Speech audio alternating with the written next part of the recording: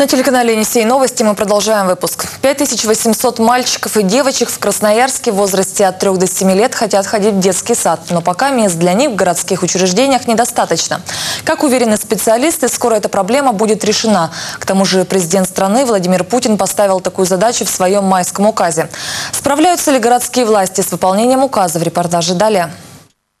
К 2016 году должна быть полностью ликвидирована очередь в детские сады. Сейчас все силы ответственных служб брошены на решение этой задачи.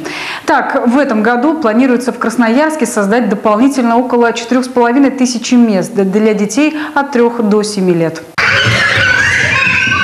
Ловить шарики и прыгать через кубики в этом зале будет на 50 детей больше. 319-й садик, что на правобережье краевого центра, ждет пополнения. Дело в том, что часть площадей этого здания возвращают детскому саду обратно. Центр диагностики и консультирования, который сейчас здесь располагается на первом этаже, переедет в другое помещение. Экономия бюджетных денег очевидна. Освобождается 294 квадратных метра и две группы детского сада можно здесь будет разместить. Арифметика очень простая.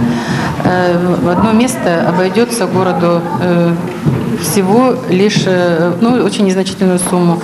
Будет затрачено порядка 6 миллионов э, рублей, а 50 мест. А обычно средняя цена одного места – это миллион, миллион двести. Сейчас здание обследуют специалисты, готовят необходимые документы. Ремонт начнется летом. Уже в сентябре по планам сюда придет еще 50 ребятишек. А Центр диагностики получит здание с гораздо большей площадью. Это очень важное дело. Во-первых, то, что им предоставят площадь, которая побольше у них будет. И они в полном объеме будут работать с детьми, которые нуждаются прямо очень сильно. И очень много детей нуждается в, в помощи центра. Но и мы, конечно, очень рады, что у нас пополнится еще как минимум на 50 детей. Возвращение зданий детских садов обратно на нужды малышей далеко не единственное решение проблемы очередности. Из глобальных в этом году начнется строительство 13 детских садов. В них пойдут почти 2000 детей. Шесть новых зданий, что уже построены, примут малышей в этом году. Кроме того, в Советском и Кировском районах после капитального капитального ремонта откроются два детских сада. Навели порядок и в самой очереди. Реальная цифра оказалась меньше фактической. Снижая вот эту цифру очереди, мы шли по нескольким путям, в том числе наводя порядок в бюрократии. Я бы, может быть, с этого и хотел начать. Созданная программа «Дошкольник», уникальная компьютерная программа, которая на уровне России позволила нам э, убрать задвоение. Вот у нас были дети, которые в нескольких районах находились в одно и то же время значит, в очереди и числились как очередники.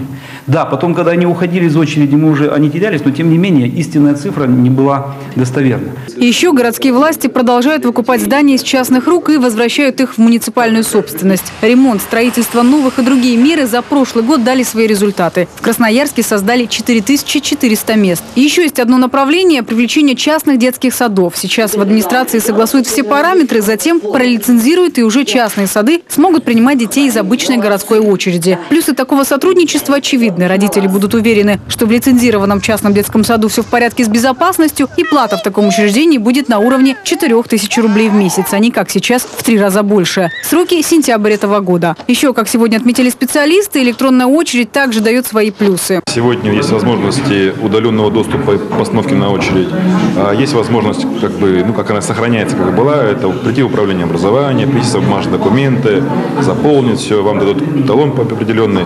Можно по-другому, можно дома, из своего рабочего компьютера зайти на портал госуслуг, там очень подробная схема есть алгоритм заполнения, заполнить форму определенную, забить данные ребенка, и вы получите подтверждение э, своей электронной очереди. И потом также через портал госуслуг, имея свой идентификационный номер, можно отслеживать движение по очереди ребенка. Такой подход со всех сторон к решению майского указа президента ликвидировать очередь в детские сады до 2016 года выполним, говорят специалисты. Да и цифры подтверждают это. Если в начале прошлого года число очередников от 3 до 7 лет составляло более 14 тысяч малышей, то сегодня это где-то 5800 юных красноярцев. Ирина Алиева, Александр Ермашенко. Новости.